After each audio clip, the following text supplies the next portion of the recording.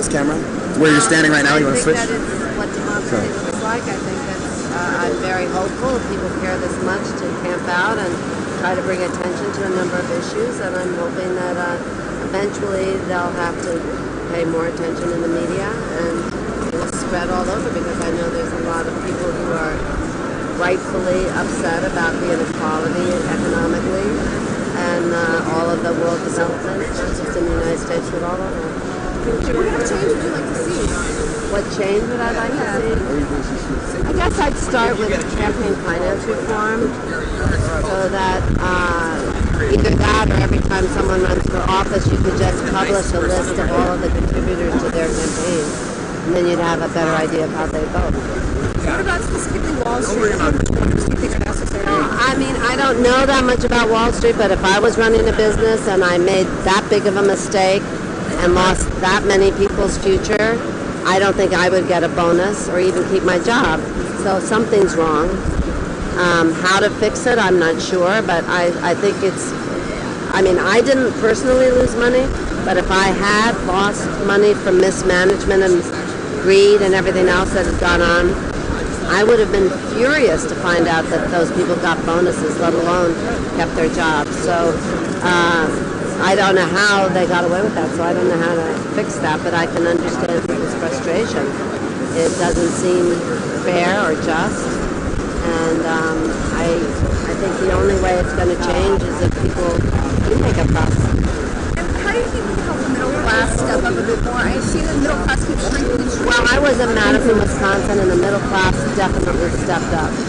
The teachers were there, these poor teachers that have been so unjustly maligned, um, nurses, firefighters, farmers, kids with babies. It was so cold, and they were out and they were camping out for weeks and weeks and weeks. And everyone, even the people whose pensions were not on the line, and were there for each other, and that is the middle class. So I think the middle class can step up and has been known to step up. And I wish the media would um, would have given them more coverage because it was very moving and significant what was going on in Wisconsin.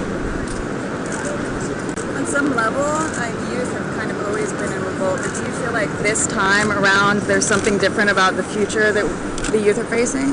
I think the internet, if you guys can figure out how to use it effectively, is makes things very different. Um, years ago, there had to be a centralized order, but being able to disseminate information, being able to, to do what you can with your phones, and being able to organize that way, it's no longer necessary, and it's no longer as expensive.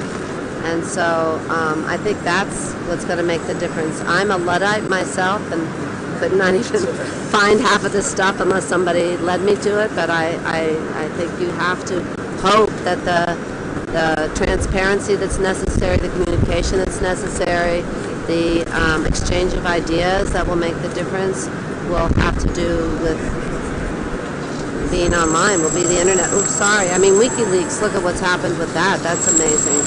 You know, that kind of information and, and uh, the right to know, I think is really, really important. What do you think is the most positive thing coming out of what's happening on Wall Street? Well, I would say that, you know, everybody here is reinvested in their country. And if they can reinvest people to pay attention and to believe that they can make a difference, it's understandable right now where there's an enormous amount of cynicism. Um, we were promised transformation and nothing has really transformed. And I don't think there's ever been power that's given up power unless it's been wrenched from them.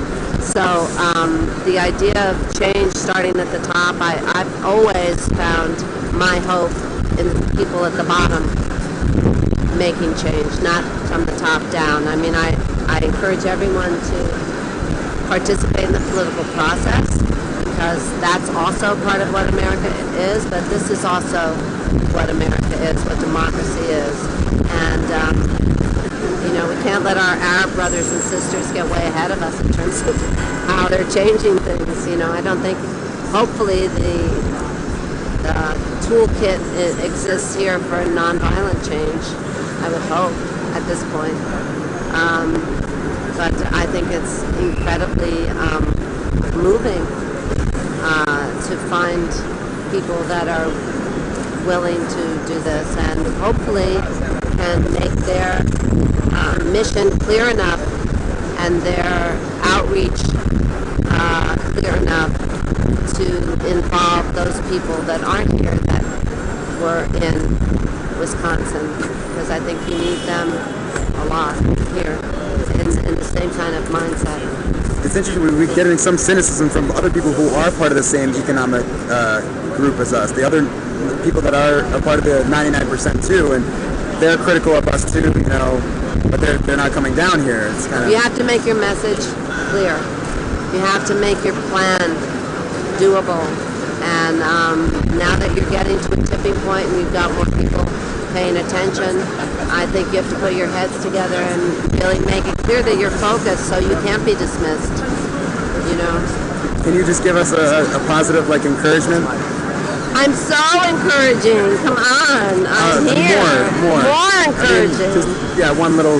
No, hang in. You know, it's important to hang in, and uh, I, you're doing great, and you're starting to get press, and that's the beginning, and it's uh, it's really important what you're doing, and it's important for, you know, somebody once said to me, you can't look back on political change as just goals that you accomplish. You have to be involved in the process because you're making your life an art form, and that's what you're doing. This is your life that you're doing, and so you guys are already one because you're your bodies where your beliefs are, and you know it's a peaceful, beautiful place that you've made here, and that's already uh, a success.